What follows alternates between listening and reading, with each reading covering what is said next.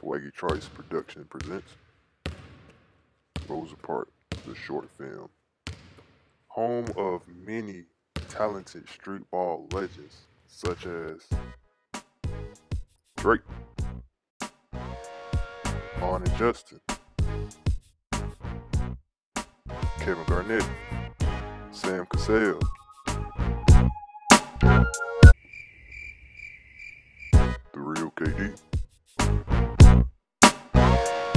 Billy the Kid, Melo,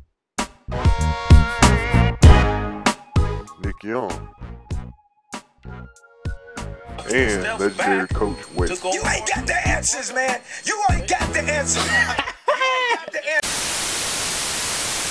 With all the media criticizing the culture of street ball, Coach Carter and players give us a sneak peek into the gym.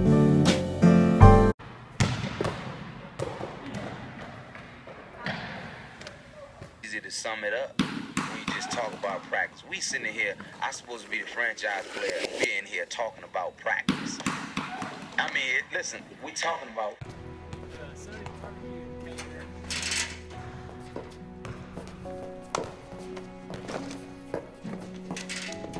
Oh, well, not quite your storybook ending, huh?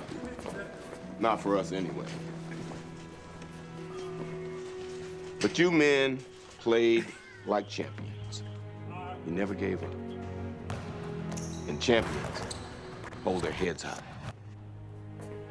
What you achieved goes way beyond the win-loss column or what's going to be written on the front page of the sports section tomorrow.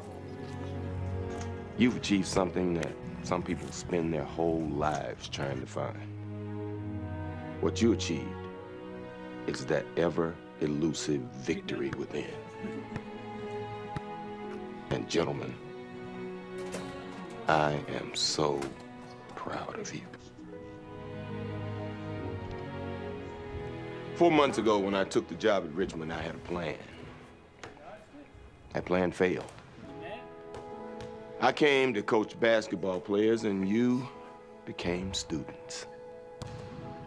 I came to teach boys, and you became men. For that, I thank you.